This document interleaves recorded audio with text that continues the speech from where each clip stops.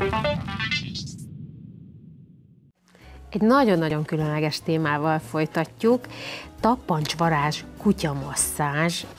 Ez tulajdonképpen egy fantázia név, és Baláné Kriszti Éva terápiás kutyamasször gyakorlatilag, nem mondom azt, hogy erre szentelte az életét, hiszen mással is foglalkozik, de ez egy nagyon-nagyon különleges hobbi Évi számára, tehát kutyákat masszíroz, végül is terápiás célra, hogyha jól értem. Igen. Hogyan jött az ötlet, hogy te ezzel foglalkozz? Úgy, hogy van egy tíz éves örökbefogadott kis kutyám, már nem kicsi, és azt vettem észre nála, hogy kezdett egy kicsivel nehezebben mozogni, kis Gizinguz már nem ugort át a kerítést, és valami megoldást szerettem volna neki nyújtani, tehát kezdett a mozgásszervi probléma előjönni, akár csak az idős embereknél, és, és valamit szerettem volna, gyógyszereket igazán még nincs szüksége, műtétre nincs szüksége, és ezért elkezdtem kutakodni a, a neten, hogy ugyanhogy tudnék neki segíteni, és, és innen jött az ötlet, találtam egy ilyen lehetőséget, egy ilyen képzést, elvégeztem ezt, a, az, ezt az iskolát, és akkor és gyakorlatilag most innen... várod a kuncsaftjaidat. Én úgy gondolom, igen. hogy, hogy abból indulunk ki, ugye, hogy mi emberek nagyon Végül is van olyan ismerősöm, aki nem szeret masszörhöz járni, vagy nem szereti, ha hozzáérnek, de azért általában mindenkit megnyugtat, egy relaxált állapotba kerül, és sokaknak nem is testileg, de inkább lelkileg jó az, hogyha simogatják, foglalkoznak velük. Nos, hogy vannak ezzel a kutyusok? Ők, ők tehát minden kutya jól fogadja a simogatást, a masszást? Igen, a legfontosabb az, hogy, hogy először is, hogy a kutyának a bizalmát elnyerjük. elnyerjük.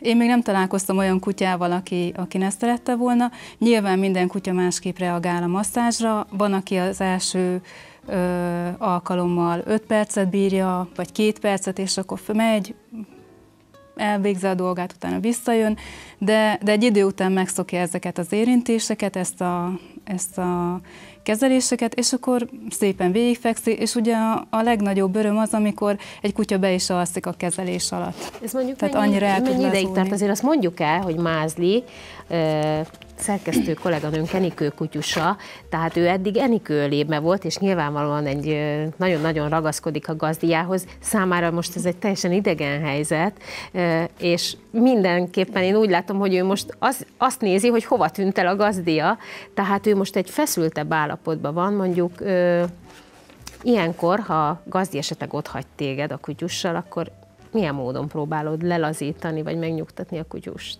Hát először is érintéssel, vannak ilyen simító mozdulatok, szépen lassan kell végezni őket, és a kutya megnyugszik tőle. Most nyilván 5 perccel ezelőtt, vagy 3 perccel ezelőtt még Enikőnél volt a kutya, tehát még egy kicsit szoknia kell, meg most találkozunk először, de, de hogyha nyugodt körülmények között vagyunk, akkor a kutya nagyon hamar meg tud nyugodni. És nyilván ugye, ha te és... sem egy ilyen uh, élő televíziós stressz helyzetben vagy, hanem a megszokott környezetedben, uh, kell-e hozzá valamilyen extrém dolog, mint zene, illatgyertya, nem tudom, én most csak az emberi uh, körülményekből indulok ki. Ez mondjuk jót tesz a Igen, lehet alkalmazni aromaterápiát is, lehet uh, zenét is, nyugtató, relaxáló zenét kutyáknak. Ezt nyilván az élménymasszáskor szoktuk alkalmazni, amikor terápiás masszázs van és a gyógyító, tehát a gyógyítás miatt kezeléseket úgy végezzük, akkor nyilván nem. Ugye nem a szoktam. terápia, ahogy említettük, nem minden esetben esetleg testi. Van-e olyan, hogy mondjuk egy kifejezetten ingerlékeny vagy ideges kutyusnak mondjuk jót tesz egy, egy ilyenfajta masszás terápia? Igen, ezt úgy kell elképzelni, hogy amikor az emberek is elmennek masszörhöz, és idegesek, és lefekszenek, és a mosztor elkezdi őket masszírozni, és egyszer csak azt veszik észre, hogy elálmosodnak, megnyugszanak, és ők is nagyon sokszor be is uh-huh. aludnak rajta. Tehát magától az érintéstől, attól, hogy stimuláljuk az idegpályákat, a görcsök oldódnak, és a kutya is megnyugszik tőle. Vannak, tehát te nyilván tudod, hogy melyek azok a pontok mondjuk az állatkákon, amelyek ilyen hatással vannak. Nem tudom, milyen, ahogy említetted, a különböző idegpályák, vagy a, vagy a masszáspontok. Mik azok a pontok vagy fogások, amit esetleg mi laikusok is megpróbálhatunk a saját házi kedvencünkön, akár egy cicán, akinek hát mondjuk. Hát a házi kedvencen szerintem mindenki szokott gyakorolni, mindenki szokta masszírozni őket, nagyon sokszor találkozok olyan olyan esetekkel, ugye amikor mondom, hogy mivel foglalkozok, hogy ó, hát én is szoktam, én is szoktam a kutyámat masszírozni. Nyilván az, amit én csinálok, illetve a, a terápiás kutyamasszörök, az egy kicsiben másabb. Uh-huh. Tehát ezt úgy kell elképzelni, hogy például, mikor otthon valaki megmasszírozza a párját, jól esik neki, mikor fájított a háta, vagy, vagy valamilyen más, jól esik neki, de amikor egy, elmegy egy masszörhöz, aki képzett masször, akkor szia! Akkor, akkor az nyilván ö, teljesen másféle kezelést ad neki.